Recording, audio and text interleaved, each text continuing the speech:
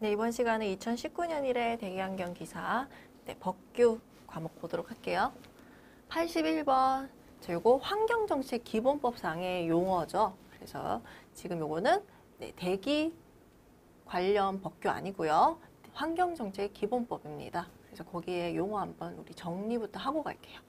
자, 환경이라는 거는 이제 자연과 생활 환경 두 개를 합쳐서 우리가 환경이라고 하는데 그 중에서 자연 환경이라는 거는 자연적인 걸 포함을 하는 거죠. 그래서 지하나 지표, 지상 모든 생물과 그 다음에 그걸 둘러싸고 있는 그러니까 환경, 비생물적인 거를 자연 상태, 자연의 상태를 얘기를 하는 거고 생활 환경이라고 하는 거는 우리 사람하고 이제 관련이 있는 대기물, 토양 폐기물, 소음 진동, 악취. 일조는 뭐예요? 그러니까 빛이 들어오는 거죠. 그래서 우리 일조권 그러잖아요.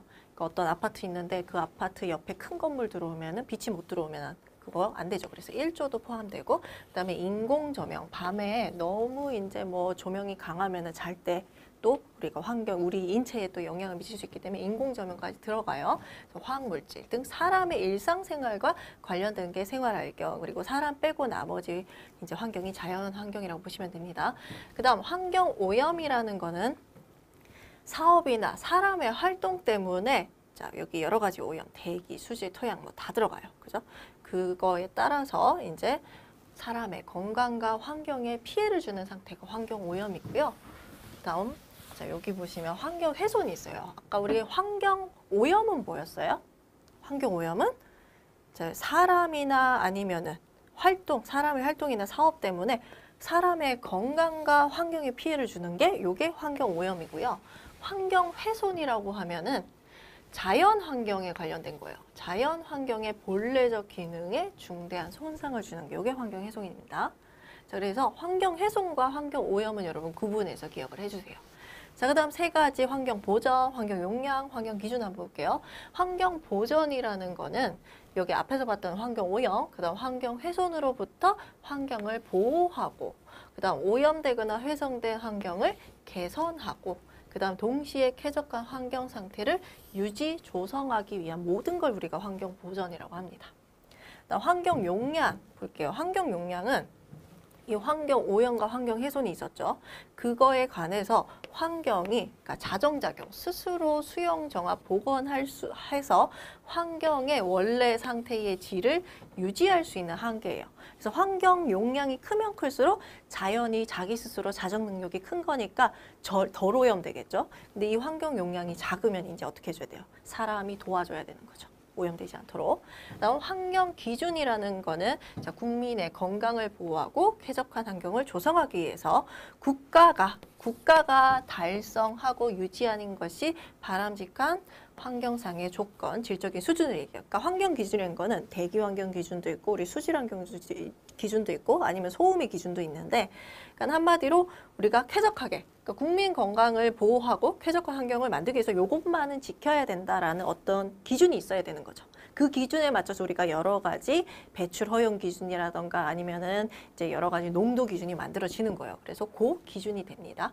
그래서 이렇게 여러분 정리를 하시고 이제 문제를 보도록 할게요.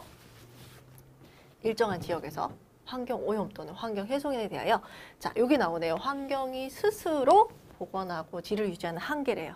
환경 용량이 되겠죠. 그래서 2번이 정답이 됩니다. 자, 문제 82번. 휘발유를 연료로 사용하는 경자동차요. 휘발유고 경자동차의 배출가스 보증기간 적용 기준입니다. 자, 요거 볼까요? 우리 휘발유는 세 가지로 어떻게 경자동차, 소형, 중형 합쳐서 그다음 대형, 초대형, 그다음 이륜으로 이렇게 세 가지 나눠지고 가스도 세 개인데 경자동차가 따로 빠지고 소형, 중형, 대형, 초대형 이렇게 된다 그랬죠.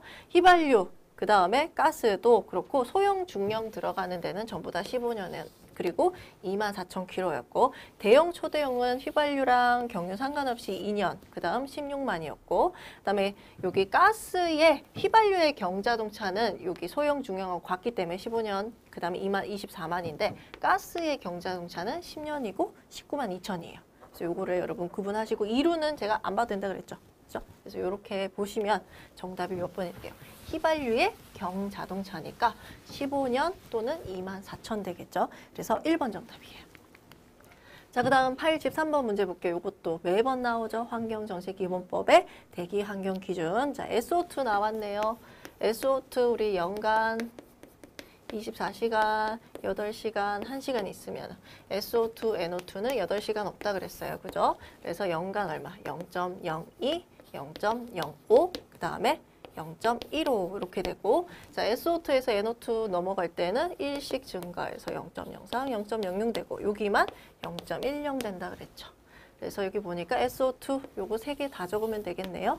몇 번 정답? 1번 정답. 84번이에요. 자, 배출 시설에 가동 개시 신고할 때 시운전 기간. 그러니까 먼저 한번 돌려보는 거예요. 그래서 이게 제대로 돌아가는지 알아보는 기간 얼마? 30일로 둡니다. 그래서 요거는 여러분 외우는 문제 30일 3번 정답이죠.